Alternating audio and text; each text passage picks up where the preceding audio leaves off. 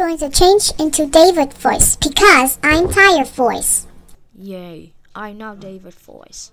Mimi Pencilmate, how dare you dare ever change, change your David voice. That's it. You're grounded for flying Flopsy 2 to 5 14 times. Go to your room right now.